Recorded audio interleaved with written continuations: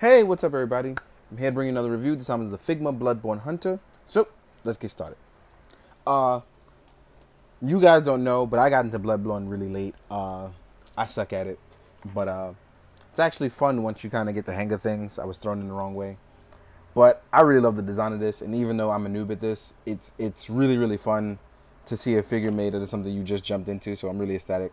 Um, real quick, I want to talk about how cool the design is of the helmet and the hunter. And considering you can personally design your hunter, you pretty much go with the default character version of it. Let's try to get some more light on here. Because you can't see it, but the hunter has blue eyes. I'm trying to get, I guess, I can't see it. But the hunter has blue eyes, and I'll be able to show that off in uh, a photo. And the scarf is a soft plastic. And it's really nice to just see something done really well in terms of detail not that Good Smile doesn't have the detail, but it's really nice sometimes to see it captured a little differently, and I really like this. So stuff like the wash and detail, it's all really done, at least to me, really, really well. So real quick, I want to go into articulation. From the head, you can go up, you can go down. It's obviously hindered by this character's collar, but you can still rotate it really, really well. It's not that you can't get anywhere. So kudos to them for that because know, most of the time when stuff is hindered by the collar, it really just it's stuck and you don't get anything out of it. But you actually get a little bit more. Now, as far as arm articulation, you get a little pull and drop down method here with it, and there's a rotating joint.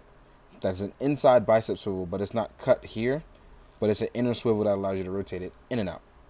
The arm is single jointed and it only goes about this far, but it does rotate and swivel out. I should have did that motion, but uh, it does rotate and swivel out and the arm gauntlets are just really, really nice. The pegs still rotate in and out and all the way around, so you won't have any issue there.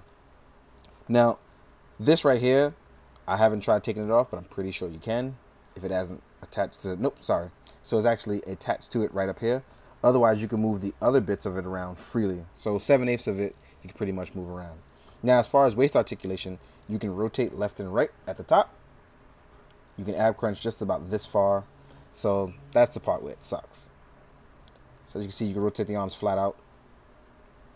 One thing that I thought is really weird that it actually wiggles here.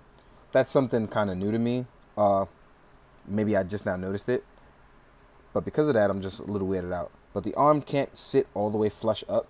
So that's another thing that kind of bothers me. But it's not enough to make me go, ah, you know, this is terrible. It's just something where I know the jacket is in the way of the item. Now, as far as the legs go, legs can go this far out stretch this far out, which really isn't bad for a Figma, especially when it's being hindered by the jacket. The legs aren't double jointed, they're single jointed, and they go about this far. There's ankle articulation as well, and there's a toe pivot. What's really cool on the back side of the Hunter is that if you lift up the backhand skirt, you see that the back of his jacket is on a peg that allows you to rotate out, which leaves a huge uh, gap here. I don't know if you guys can see that but there is a gigantic gap here. If you want to fill it in, you can, but it will hinder his back articulation that allows him to extend a little further back. But overall, I mean, I like the Hunter. I want to see if he can get into some cool poses. Oop. Oh, I don't like that at all. So I lifted his leg up, and the side arm pouch actually fell out. It fell right out. So Maybe it was me, maybe I went too far, but it ripped right out of its plastic.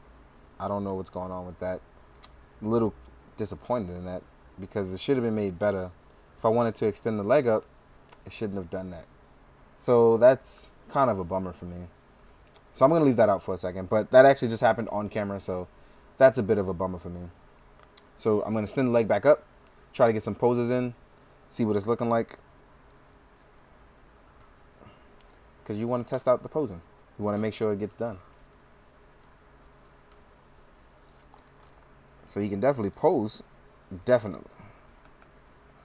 Will it look a little awkward with the cape and without the piece? Maybe, but I'm sure you can finagle something. So Hunter can pose. I like that. Now, as far as weapons and what Hunter comes with, the Hunter actually comes with his Hunter's pistol. The mechanism doesn't move, but it's soft plastic at the top. It's actually pretty nice. Let's get some light on that. And I feel like everything's kind of a, a, grayscale tone to this game, so they actually matched it here. And I really like that the Hunter pistol looks the part. It's really nice. Next up, we have the signature weapon that most people start off with is the saw cleaver. So you obviously get it in two forms. It's folded form and it's uh, dual, well, it's other form, the saw cleaver. There are incant, well, not incantation, but there is a language written on one side while it's not on the other. And it looks worn and it's worked on and it's bandaged in places. I really like the look of this. It's really nice. Saw cleaver is pretty dope. This is a cool and crazy weapon. Shout out to my man uh, Blind Mech who is working on weapons. As soon as he has some, I'm gonna have some. And now, as far as weapons, I'm sorry, as far as hands go, you get the hunter pistol holding weapon. I mean, hunter pistol holding hand. Wow, I am off. so as you can see here, it fits into the hunter's pistol. Hold it very well. It actually holds it really tight as well. Next up, we have relaxed hands. Then we have hands for holding uh, the saw cleaver. And we have hands for holding just regular items for other stuff. So there's eight hands in total on the rack, two on his fist, so that's 10 total. It's really nice. Real quick, let's get in the size comparison and talk about uh, how big the Hunter is. Now, normally Figmas are non-scaled, so sometimes they come out smaller, but there are occasions like Scuts and uh, uh, Lancer where they come out a little bit taller. So, let's take a look. Let's move all the stuff around.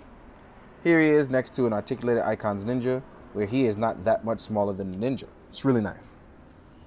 Here he is next to an uh, 1000 toy synthetic human.